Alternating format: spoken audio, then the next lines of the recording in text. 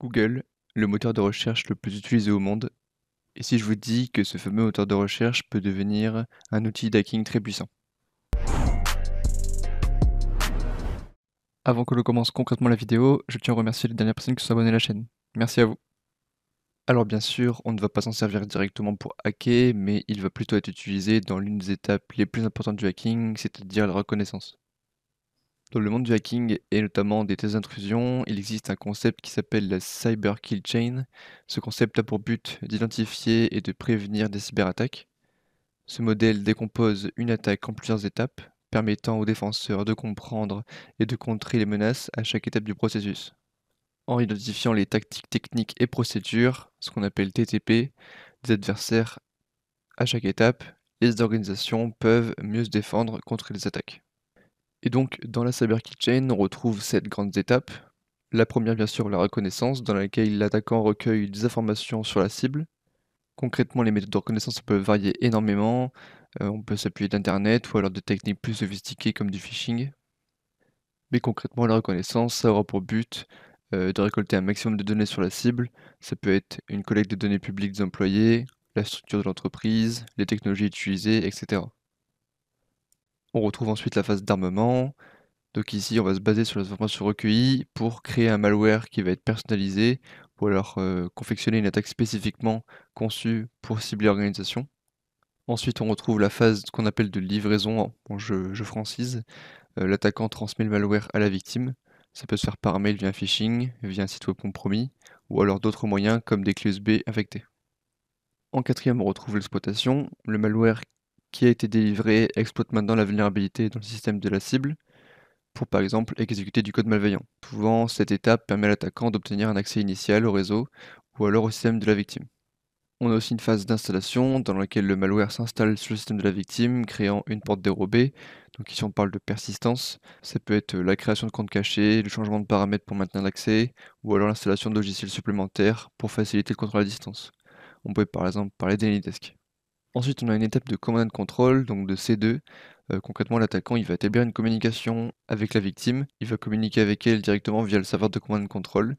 Et c'est pas mal l'attaquant de diriger le malware, voler des données et déployer par exemple d'autres logiciels malveillants. Ensuite, on a l'action sur l'objectif. L'attaquant il va réaliser son objectif final qui peut varier euh, de l'exfiltration de données sensibles à la perturbation des services ou en passant par la destruction des données. Donc concrètement aujourd'hui, comme je disais, on va s'attarder sur la première phase qui est la reconnaissance. Le moteur de recherche Google peut en effet dévoiler des informations cachées et effectuer des recherches avancées, permettant à l'attaquant de récolter un maximum d'informations sur sa cible.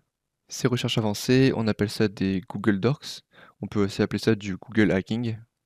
Concrètement, ces requêtes exploitent les fonctionnalités avancées de recherche de Google pour récupérer des résultats qui ne seraient pas obtenus avec des recherches normales.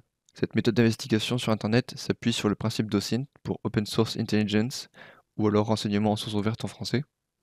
Par exemple, si je cherche un type de fichier particulier comme le PDF, eh bien c'est possible avec l'utilisation du file type. Ce terme est un opérateur utilisé dans les requêtes de recherche Google pour filtrer les résultats par type de fichier. Prenons maintenant un exemple, si j'effectue une recherche sur le nom IT Connect et que je recherche des fichiers PDF, avec le fameux opérateur FileType PDF, je retrouve tous les documents PDF associés à IT Connect. Donc là, on voit chaque fois PDF, PDF, PDF. Donc si j'en prends un au hasard, on a du coup un PDF. Alors ici, l'ensemble de mes résultats retourne des fichiers PDF.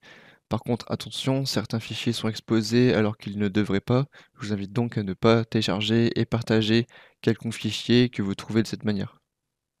Alors, ce que l'on remarque, c'est que les sites web retournés sont tous différents. On a IT Connect, Libro, Nova, etc. Pour remédier ça, on peut utiliser site. L'opérateur site permet d'indiquer le nom de domaine du site sur lequel on souhaite filtrer. Dans notre cas, je vais utiliser site it-connect.fr et là j'aurai uniquement comme résultat les sites d'itconnect.fr. Alors ici, on peut effectivement récupérer des informations dans des documents qui peuvent parfois être confidentiels, un attaquant pourrait par exemple utiliser les informations écrites dans un CV pour pouvoir créer un mail de phishing plus crédible et personnalisé.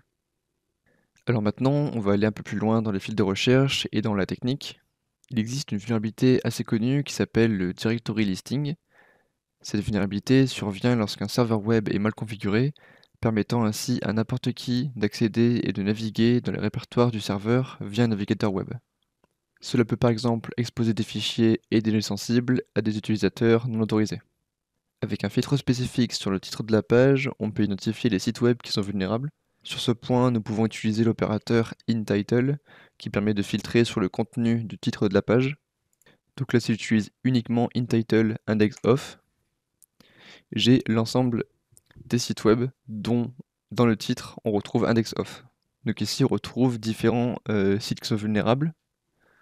Alors parfois euh, la faille est vraiment présente, donc on a une liste des répertoires avec des fichiers qu'on peut notamment exfiltrer. Ou alors on a des sites, euh, ici des faux positifs, dans lesquels justement on a juste des articles bah, dans lesquels on a juste index off dans les titres. Donc là concrètement on se rend compte qu'on peut naviguer d'un répertoire à un autre. Pour désactiver le directory listing sur vos sites web, euh, je vous mets un exemple en description pour site web euh, sous WordPress. Donc là, on appelle ça aussi l'indexation. Alors, ce qui est aussi très flippant, c'est que l'on peut identifier des caméras qui sont ouvertes sur le web. Ici, le risque de sécurité est très important et il faut à tout prix restreindre l'accès. Donc là, j'effectue ma recherche. Je prends la première par exemple. Et là, on voit que c'est une caméra en temps réel. Donc là, ce sont potentiellement des caméras qui sont accessibles sans aucune authentification et sans aucune restriction. Donc là, accessible par n'importe qui. Il est également possible d'identifier des serveurs FTP qui autorisent le directory listing. Donc là, les serveurs FTP, c'est des serveurs permettant de faire le transfert de données.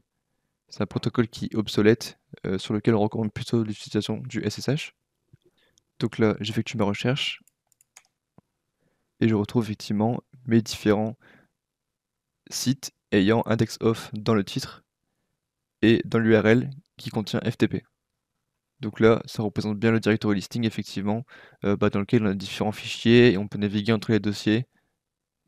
Voilà, concrètement, Google permet de faire un nombre très important de choses et peut être facilement utilisé par un attaquant pour identifier la vulnérabilité ou des informations sensibles sur sa cible.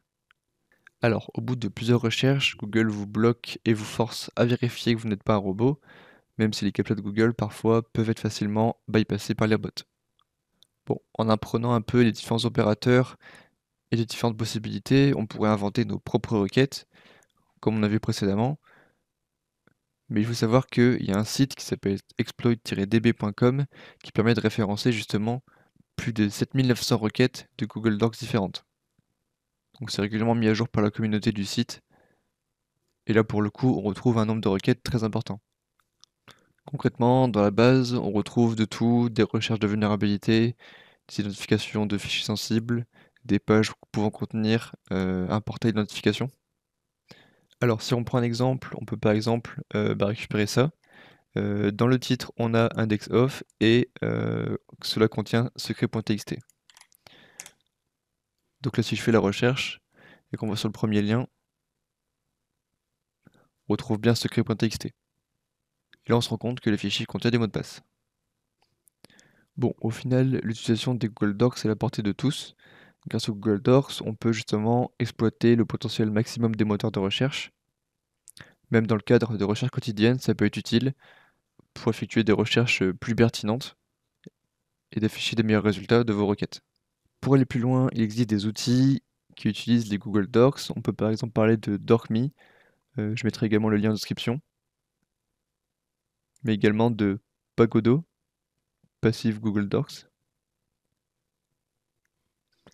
En complément, je vous partage un GitHub sur lequel on a un cheat sheet, euh, sur lequel vous avez euh, les différents filtres, mais également les différents opérateurs, avec des exemples à chaque fois. Merci d'avoir regardé la vidéo jusqu'à la fin, j'espère qu'elle vous aura plu. Si c'est le cas, n'hésitez pas à liker la vidéo et à vous abonner à la chaîne.